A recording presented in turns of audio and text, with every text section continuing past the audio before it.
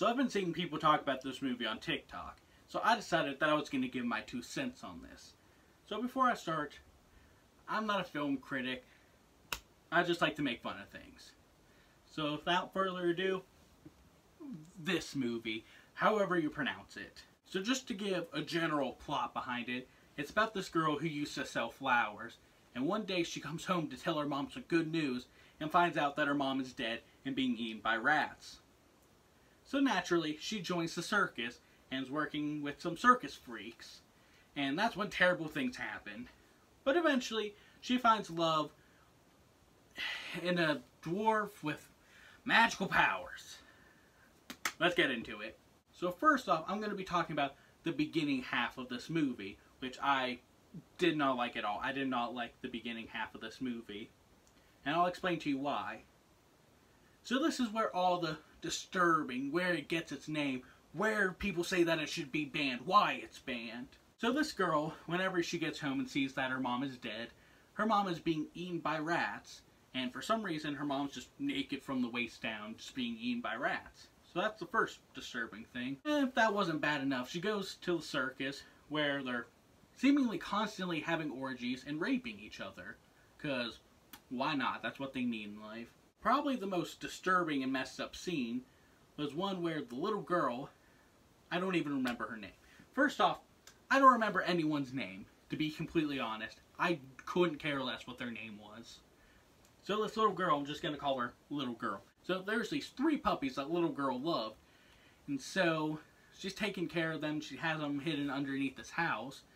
But they're in this basket. She's giving them food and love and whatever. But one of the circus freaks, this person, person right here, it's a pretty nice looking girl, right? Pretty cute looking girl. Well, let me tell you what she does. So this girl right here, let's call her T. Let's call her T. So T decides that she's going to take these dogs. And the very first dog she picks up and spikes into the ground like it's a fucking football. Then with the second and third puppy, she just stomps them to death. Guts just splatter everywhere. It reminded me of that scene from Elfen Lied. I believe it was the first episode where like R just fucking explodes and his guts go everywhere. Yeah, it's basically that, but in dog form. And then if that wasn't bad enough, they just killed this poor girl's dogs. That wasn't bad enough. Then they decide that they're gonna cook up this puppy and just not tell the girl. So whenever this girl finds, whenever little girl finds out that this is actually her puppies that she's eating, of course, she cries and breaks down. Because why not? These people are being terrible to her. And then Bandage Guy, Bandage Guy right here, this guy, there's just a random ass scene where he climbs into bed with her and starts licking her. Doesn't show anything else. He's not penetrating her or anything. He's just licking her. Because why not? And also, there's like four or five times in this anime movie, there's like four or five times where they lick each other's eyeballs. Where just everyone is licking eyeballs. There's one scene in particular that I kind of laughed at, where this guy, butt-ass naked, but there's just a guy there just slicking on an eyeball. The girl is trying to leave. If you read the subtitles, it mentions that the person has a speck of dust in their eye, and that's why this dude is just... But eventually all this rape and murder and whatnot comes to an end when she meets this dwarf with magical powers. Since he's in the circus, you're probably wondering what his skill is. What does he do? Well, since he has his magic, he climbs inside of a jar. This jar, to be exact. So he just like shrinks his body parts and kind of like squeezes his way through. And that's what his act is. And of course, because why not, he becomes abusive. The girl gets an opportunity to go and be a movie star, and he rips it up and refuses to let her become a movie star. This girl is, little girl is probably like, I don't know, 14, 15. This guy's probably in his 30s or 40s, maybe even older than that. But for some reason, they're in a loving relationship, and he refuses to let her become a movie star. But she still loves him for some reason. She still stays with him, even though he acts like a dick. And he was just a dick that one time. Like, the rest of the movie, he's not like that. But one day, but one day, her lover, the dwarf, gets angry at a crowd and just decides to kill all of them. The scene that I mentioned from Elfen Lied the guts exploding everywhere of the guard.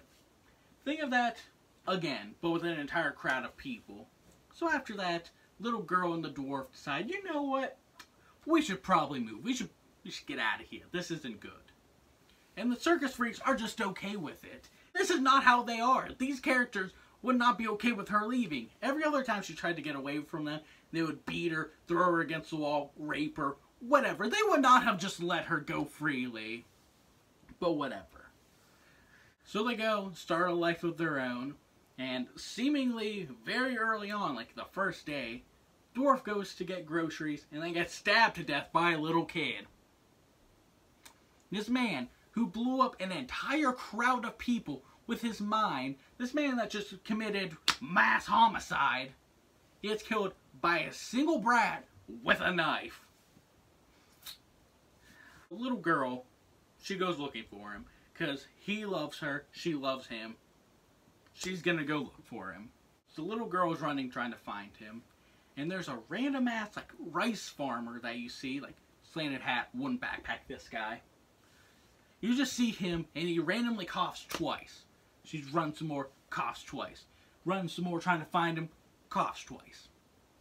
Don't know why he's there, but he's there for some reason. Eventually, little girl assumingly comes past it a hallucination of her lover, the dwarf, and all the circus freaks just stand by a bunch of stairs. So, for some unexplained reason, she runs after them with a wooden stick. And she tries to beat them. Don't explain why she did this. She didn't seem angry. She just runs after them with a stick.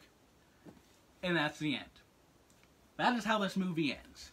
So my review on the movie is, out of enjoyment, what would I rate it?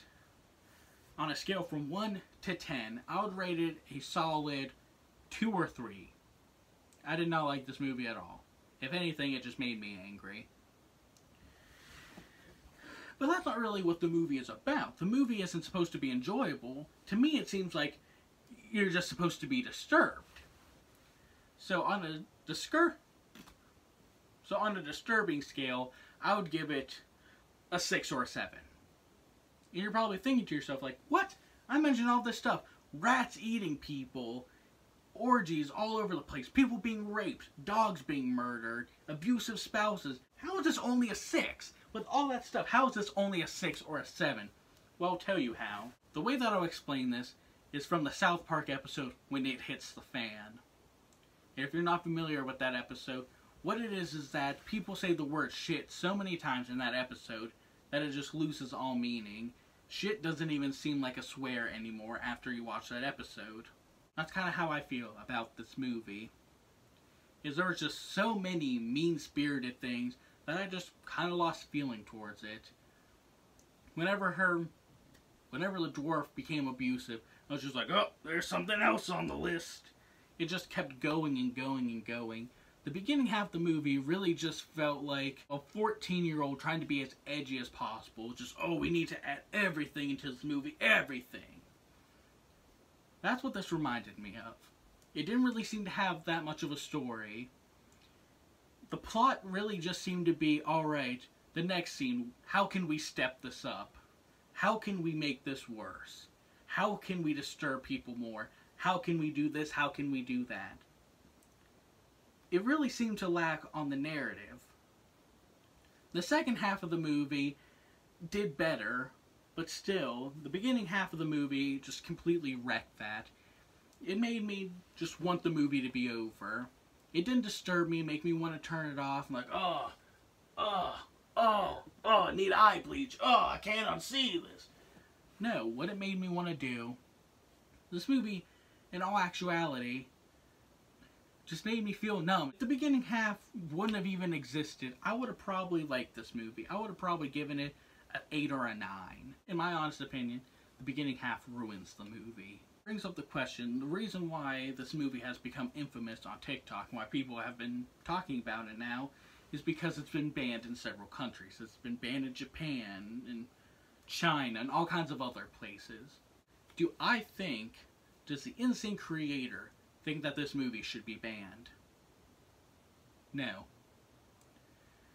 Because even though it does have all this disturbing stuff in it, even though it has lots of rape, orgies, and so on and so forth, I have seen movies worse than this that have dealt with darker issues and have been a darker film that are not banned in any countries or only a handful. And like I said, the way that they went about it, the way that everything was structured in this movie, it just lost all meaning to it, like when it hits the fan. Then the question is, would I recommend this to anyone? The answer is no, I would not recommend this to anyone. Next question is, would I ever watch this movie again? The answer is no. I I would probably never watch this movie ever again. It's a memorable movie, but it wasn't a good movie. I'm the Insane Creator, and I hope you hated this.